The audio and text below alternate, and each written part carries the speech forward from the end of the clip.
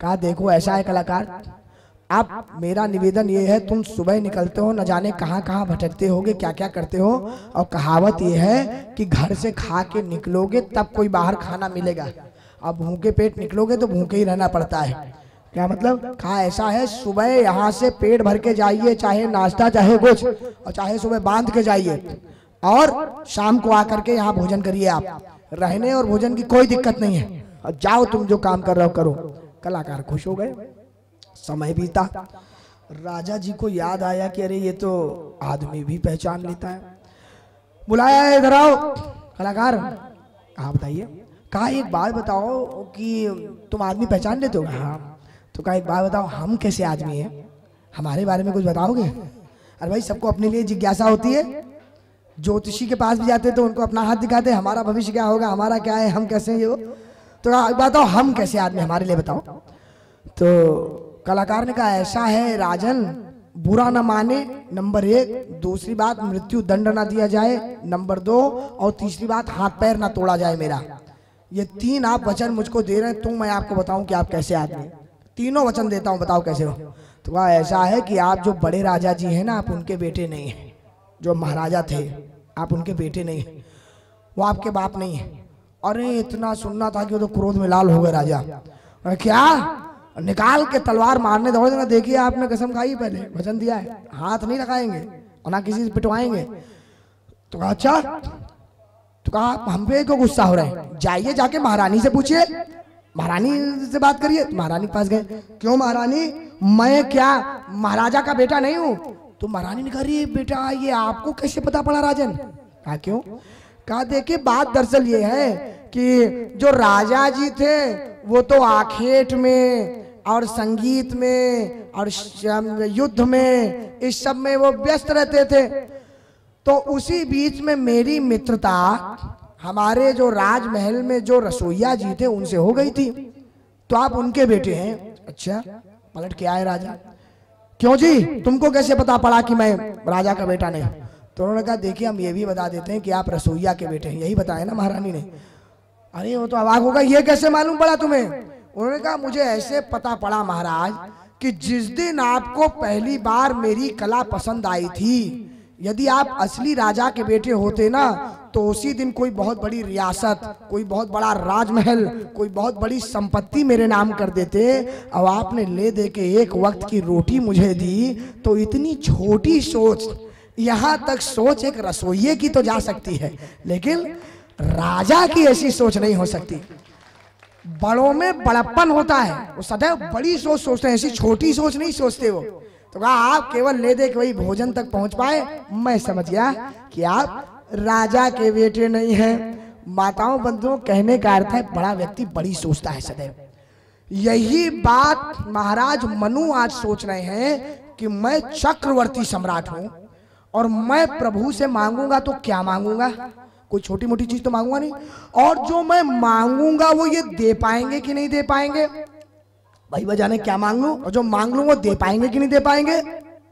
महाराज मनो मन ही मन सोच रहे हैं, क्या करूँ मांगू कि नहीं मांगू? मैं जो मांगूँगा कहीं बात खाली ना चली जाए, कहीं इनके बस के बाहर की बात ना हो। अरे इतना नहीं मांगते। महाराज मनु सोच रहे हैं, प्रभु, एक लाल सा बड़ी उर्माही बड़ी लालसा है। बोले, सुगम अगम कही जात सुनाही। अब वो सुगम है कि अगम प्रभु मुझे नहीं मालूम। कहा, क्यों, ऐसा क्यों करे? बोले, क्योंकि तुम ही देत अति सुगम गोसाई। अगम लाग मोहि निज कृपनाई आपके लिए तो सुगम हो सकती है, लेकिन मुझे अपने मन में ही लग रहा है कहीं ऐसा ना हो कि वो आपके लिए सुगम ना हो। कहीं आप ना दे पाए। कैसे मनु? बोले, प्रभु, मेरी हालत तो ठीक उसी प्रकार है। जथा दरिद्र विबुध तरुपाई और बहु संपत्ति मांगत सकुचाई। जैसे किसी दरिद्र के हो, जैसे किसी दरिद्र को कल्प वृक्ष के सामने बिठा दो तो कल्प वृक्ष से वो सोचे मांगने में कि ये दे पाएगा कि नहीं दे पाएगा कल्प वृक्ष? जबकि माताओं, बंधुओं, कल्प वृक्ष तो कल्पना को पूर्ण करने वाला वृक्ष होते हैं, कल्प वृक्ष। आपकी कल्पना हो और वो पूर्ण हो जाएगी। लेकिन दरिद्र सोचता है कि कर पाएँगे कि नहीं कर पाएँगे। इसीलिए हमारे अवध में कहावत है, ध्यान दीजिएगा, अवध में कहावत है कि ना बड़ों से भखवाओ और ना दरिद्र से परसवाओ।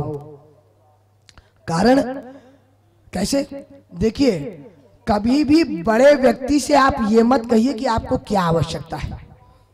अगर उसमें बड़प्पन होगा, वो सचमुच बड़ा व्यक्ति होगा तो वो खुद समझ जाएगा कि क्या आवश्यकता है। आपको कहने की आवश्यकता नहीं है वो। उदाहरण के तौर पे, उदाहरण के तौर पे जैसे विचार करिए, माताओं, बंधुओं, मैं आपको बिल्कुल ज्वलंत उदाहरण दूँ। उदाहरण ये है कि एक बार कुंभ की घटना है, उज्जैन कुंभ की। उज्जैन कुंभ की घटना बता दूँ। तो वहाँ महाकालेश्वर मंदिर है तो महाकालेश्वर मंदिर में सब दर्शन अब कुंभ में आए हैं, दर्शन करेंगे महाकाल के। आप लोग भी जैन कुंभ गए होंगे, महाकाल का दर्शन तो करना ही है। जैसे यहाँ संगम स्नान करना आवश्यक है, गंगा जी का स्नान करना आवश्यक है, वहाँ दर्शन आवश्यक है, शिप्रा स्नान आवश्यक है। तो अब नोएडा से कुछ भक्त आए, उनके साथ हम जाने लग गए। तो महाकाल मंदिर के अंदर जैसे लगे स्वाभाविक है, कुंभ है तो भीड़ तो होगी। तो भीड़ बहुत थी तो जैसे ही अंदर जाने लग गए तो जो हमारे बगल में भक्त था, उसने दूसरे से कहा कि, ये भैया, सुन, ज़्यादा देर रुकने नहीं देंगे शिवलिंग के सामने। ऐसा है, तुरंत जो मनोकामना हो जैसी भगवान के सामने पहुंचो, तुरंत मांग लेना, क्योंकि खट से वो आगे निकाल देंगे। तो फिर पता लगा, तुम मांग नहीं पाओ, हो नहीं पाया। तो फिर क्या करोगे तुम? तो मैंने सुन लिया तो मैंने कहा, देखो भैया, गलती से ये कर्म देना गलती जो आप करने जा रहे हैं। क्यों महाराज जी? मैंने कहा कि आप क्या मांग रहे हो जाके? क्या मांग लोगे आप? अरे नौकरी, ज़्यादा से ज़्यादा विवाह, ज़्यादा से ज़्यादा घर, बंगला, क्या मांग लेंगे आप? वो सब उनको प्रभु को मालूम है, नंबर एक। और दूसरी बात, एक बात बताइए। न जाने प्रभु ने आपके लिए क्या कल्पना करके रखी हो, क्या उन्हें योजना बना के रखी हो बड़ी बड़ी कभी भक्त के लिए ये भी करना है, भक्त के लिए वो भी करना है। और आप जाकर के वही छोटी सोच, आपकी रोटी, कपड़ा, मकान या नौकरी या बेटी का विवाह, ये मांगोगे जाकर के तो भगवान सोचेंगे कि जब हम तो इसके लिए क्या क्या सोचे बैठे। और ये जब इतने में ही प्रसन्न हो रहा है तो फिर और सोचने की आवश्यकता है ज़्यादा? फिर क्यों देने की आवश्यकता है? जब इतने में ही इसको प्रसन्नता मिली जा रही है। इसलिए कभी परमात्मा से कुछ मांगिए मत। ध्यान दीजिए। मैं तो कहता हूँ ये बात। और माताओं, बंधुओं रामचरित मानस में हर मंदिर जो, देखिए आप लोग तो सब महाराज जी के आशीर्वाद से उनके सानिध्य में तो आप लोग सद्बुद्धि वाले लोग हैं।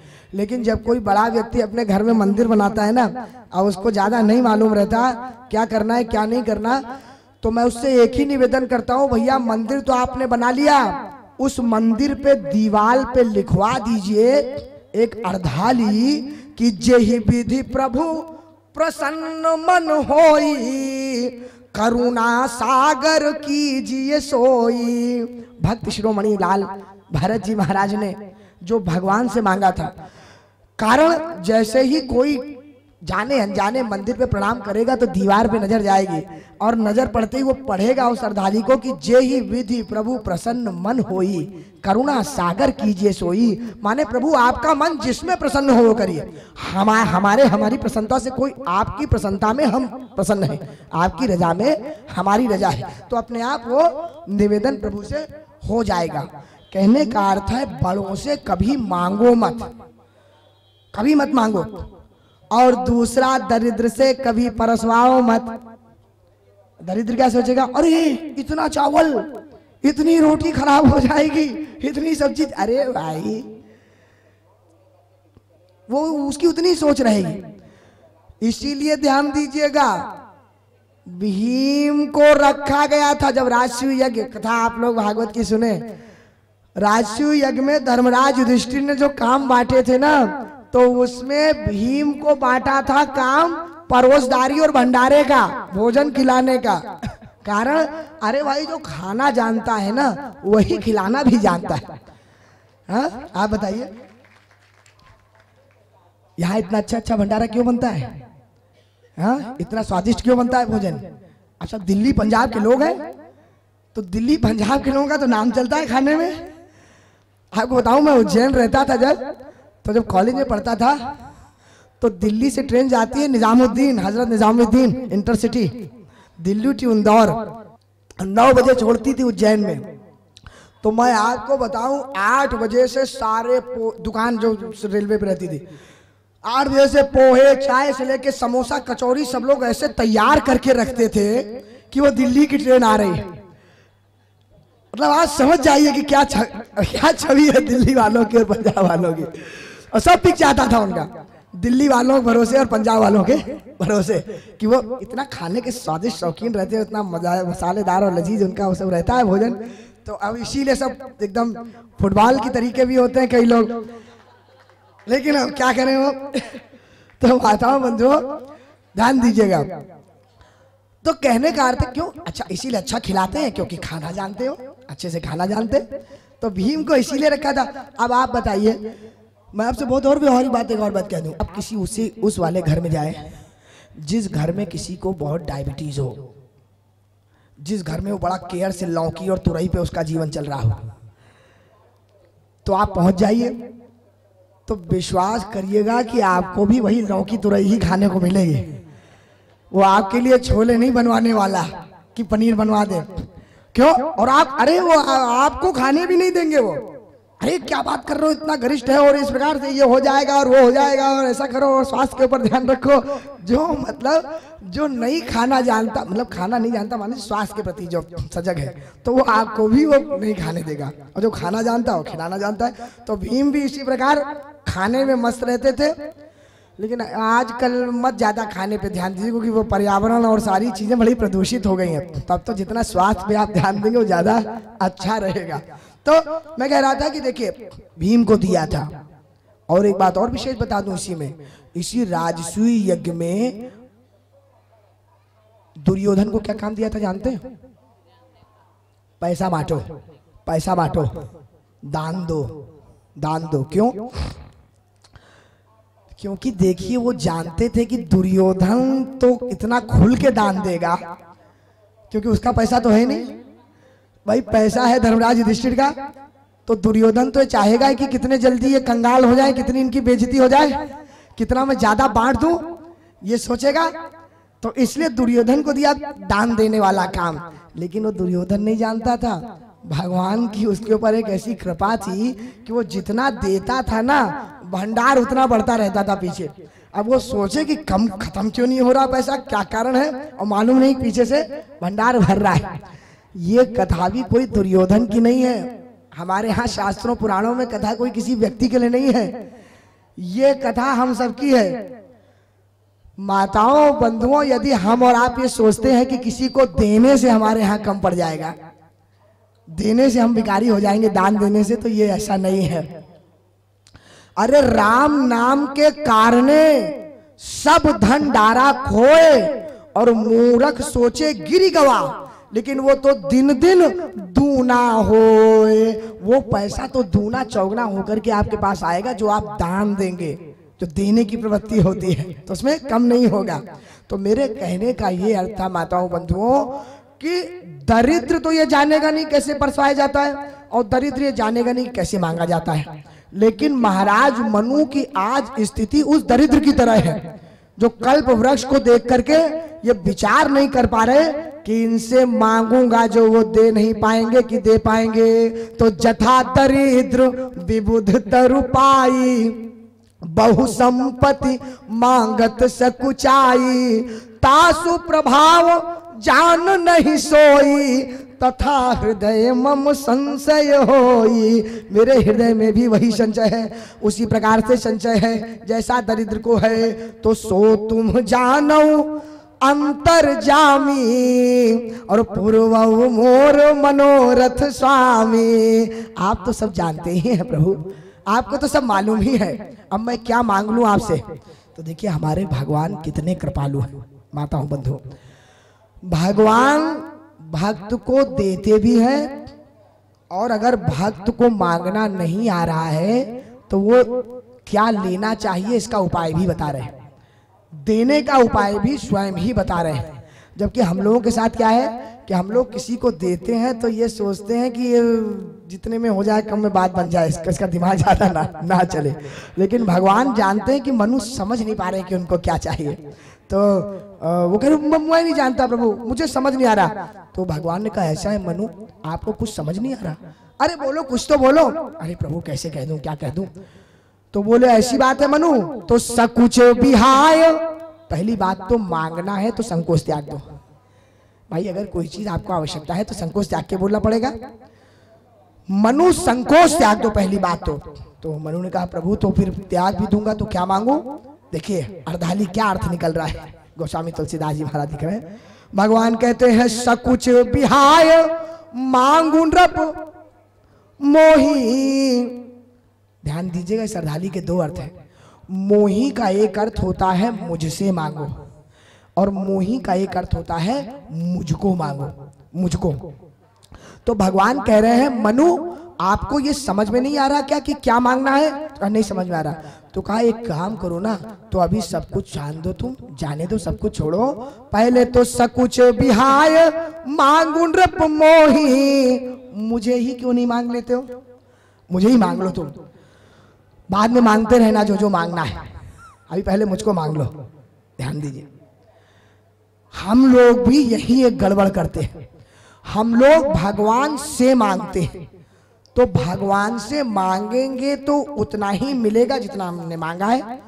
और कभी हम लोग भगवान को ही मांग लें तो बिना मांगे सब कुछ मिल जाएगा कि नहीं? अरे जब प्रभु ही आ गए तो और फिर मांगने की क्या आवश्यकता पड़ी? महाराज मनु ने भी कहा कि प्रभु आपने क्या कहा कि आपको मांग लो? कहा हाँ हमको मांग लो क्या दिक्कत है? महाराज मनु बोले प्रभु आप ऐसे भी दानी है क्या? भाई दानी शिरोमणि है महादानी है लेकिन ऐसे भी दानी है क्या? आप लोग फ़र्ज़ कीजिए आप लोग किसी से कुछ मांगने जाए। तो जब मांगने जाए तो आ, वो कहीं कुछ दे दी तो आप कहें ऐसा है कि आप हमें ही ले लीजिए। हम ही आपके साथ चले जा रहे हैं। हम ही हम ही हैं। भाई, हम लोग दे सकते हैं, लेकिन अपने आप को कैसे दे देंगे? हाँ ये अवश्य है कि आप लोग अपने आप को भी एक जगह दे देते हैं। आप लोगों ने अपने आप को समर्पित कर रखा है श्री स्वामी जी की चरणों में। स्वामी जी की कृपा में, स्वामी जी के आशीर्वाद में। आप बताइए। संतों महात्माओं, जितने भी संत महात्मा यहाँ कुंभ में आप बताइए, फ़र्ज़ कीजिए। किसी का कैसा शिविर है, किसी की कैसी व्यवस्था है, किसी का कैसा पंडाल है, रहने की, खाने की, आने की, जाने की। तो कौन है उनका? भाई, भगवान आप ही को तो प्रेरणा दे रहे हैं। स्वामी जी कितनी बार कहते हैं कि आप ही लोग हैं जिनके बल पे। ऐसे ही सारे संत हैं जिनके, जो आप लोगों के बल पे, जो भक्तों के बल पे बूंद बूंद से घट बढ़ता है। कहने का अर्थ है, या तो संत को आप लोग अर्पित होते हैं, उसके अलावा किसी को नहीं होते अर्पित। या भगवंत को होते। तो भगवान भी भक्त को अर्पित होते। हैं यहाँ मनु ने कहा, लेकिन उसके अलावा नहीं, कोई मांगने आए तो ये नहीं कहेंगे कि हम ही को ले लो। तो महाराज, मनु ने कहा, एक बात बताइए प्रभु, क्या आप इतने बड़े दानी हैं कि क्या आप अपने आप को भी दे दिया करते हैं, कोई मांगे आपको तो? ये तो हमने आज तक नहीं सुना था। तो महाराज मनु ने कहा, अरे प्रभु मनु, महाराज मनु, तुम जैसे भक्तों के लिए मोरे नहीं, अधेय कछु तो ही। तुम जैसे भक्तों के लिए मैं अपने आप को भी दे देता। मांगो, जो मांगना है मांगो। अब माताओं, बंधुओं, मनु ने तो कभी कल्पना ही नहीं की थी महाराज मनु ने।